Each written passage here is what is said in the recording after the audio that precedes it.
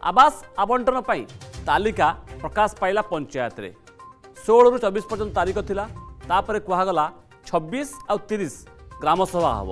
ଏବଂ ଏ ଗ୍ରାମସଭା ପରେ ଯେଉଁମାନେ ଯୋଗ୍ୟ ସେମାନଙ୍କ ନାଁ ରହିବ ଏବଂ ସେମାନଙ୍କୁ ଆବାସ କାର୍ଯ୍ୟାଦେଶ ଦିଆଯିବ। କିନ୍ତୁ ଏହା ଭିତରେ କେଁ ବାହାରିଛି ଅଡ଼ୁଆ ଛିଡ଼ୁନି ଏବଂ ସେଇଥିପାଇଁ ବିଜେପି ସମସ୍ତ ବ୍ଲକରେ ଆନ୍ଦୋଳନ ଡାକରା ଦେଇଛି।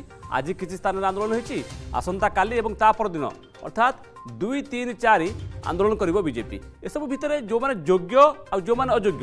আর যে গোলক ধন্দা সে ছন্দি হয়েকি যোগ্য মানে বাদ পড়ছেন অযোগ্য মানে সামিল হয়েছেন আসুন আলোচনা করা আমার পাখে যে তথ্য অছি গুমর মধ্যে আমি খোলবু যে সরকার যে দাবি করছেন বিজেডি যে দাবি করছি যে বিজু পকা ঘর বা নিজস্ব যোজনার ঘর দেব লোক বিগত তিন বর্ষে কেতে ঘর দিয়া আসুন আলোচনা করা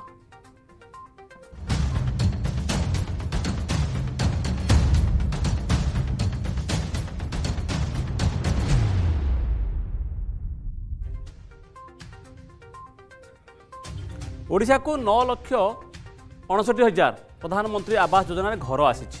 ଏଥିରୁ ଫନି ପ୍ରଭାବିତ ଅଞ୍ଚଳ ପାଇଁ ଅଛି ଏକ ଲକ୍ଷ ବୟାଳିଶ ହଜାର ଘର। କିନ୍ତୁ ଆକୁ ଆବଣ୍ଟନ କରିବା ପାଇଁ ସରକାରୀ ପ୍ରକ୍ରିୟା ଯେଉଁ ସେ ପ୍ରକ୍ରିୟାରେ କେଁ ସୃଷ୍ଟି ହୋଇଛି କାହିଁକିନା ବିଶେଷ ଜା- ପ୍ରାୟ ଜାଗାରେ ତାଲିକାରେ ଗଡ଼ବଡ଼ ରହିଛି ଅଭିଯୋଗ ହେଉଛି ଯେଉଁମାନେ ଯୋଗ୍ୟ ସେମାନେ ବାଦ ପଡ଼ିଛନ୍ତି ଆଉ ଯେଉଁମାନେ ଅଯୋଗ୍ୟ ସେମାନେ ଏଥିରେ ସାମିଲ ହୋଇଛନ୍ତି। ମୁଁ କିଛି ଆପଣ ତଥ୍ୟ କହିବି ତାପରେ ଆଲୋଚନାକୁ ଆସିବା। ପ୍ରଥମେ ଦେଖନ୍ତୁ ଆବାସ ବିବାଦ କାହିଁକି ଥମୁନି? କ'ଣ ରହିଛି କାରଣ? ଟିକେ ଆଣନ୍ତୁ। ଆବାସ ଆବଣ୍ଟନରେ ପ୍ରଥମ କଥା ହେଉଛି କେଁ ବାହାରିଛି? କ'ଣ ସେ କେ? ନା ଅନିୟମିତତା ହେଇଛି ଆଉ ସେଇ ଅନିୟମିତତା ବିରୋଧରେ ବିଜେପି ହଲ୍ଲାବୋଲ କରୁଛି। ଏବଂ ଓଡ଼ିଶାକୁ ଆସିଛି ନଅ ଲକ୍ଷ ଅଣଷଠି ହଜାର ଘର। ଏଥିରୁ ଏକ ଲକ୍ଷ ବୟାଳିଶ ହଜାର ଘର ହେଉଛି ଫନି ପ୍ରଭାବିତ ଅଞ୍ଚଳ ପାଇଁ। ଏବଂ ପଞ୍ଚାୟତରେ ଯେତେବେଳେ ତାଲିକା ଲାଗିଲା ସେତେବେଳେ ବିବାଦ ଆରମ୍ଭ ହୋଇଥିଲା। ଷୋହଳରୁ ଚବିଶ ତାରିଖ ପର୍ଯ୍ୟନ୍ତ ଅଭିଯୋଗ ଦାଖଲ ହେଲା। କିନ୍ତୁ ଅନେକ ସ୍ଥାନରେ ଅନେକ ପଞ୍ଚାୟତରେ ଅଭିଯୋଗ ବାକ୍ସ ହିଁ ନଥିଲା। ଏବଂ ଛବିଶ ଓ ତିରିଶ ତାରିଖ ଜାନୁଆରୀ ମାସର ଏଥିରେ ଗ୍ରାମସଭା କରିବା ପାଇଁ ସରକାର କହିଥିଲେ। କିନ୍ତୁ କିଛି ସ୍ଥାନରେ ଜନପ୍ରତିନିଧିମାନେ ଏ ଗ୍ରାମସଭାକୁ ବର୍ଜନ କଲେ।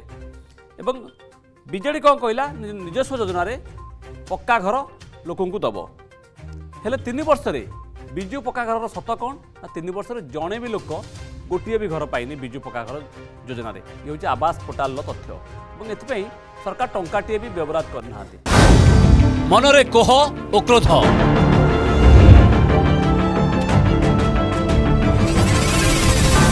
କାହାକୁ ପଚାରିବେ ପ୍ରଶ୍ନ?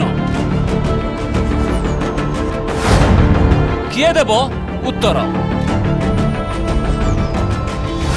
ଆପଣଙ୍କ ପ୍ରଶ୍ନର ବେସାଲିସ ମଞ୍ଚ।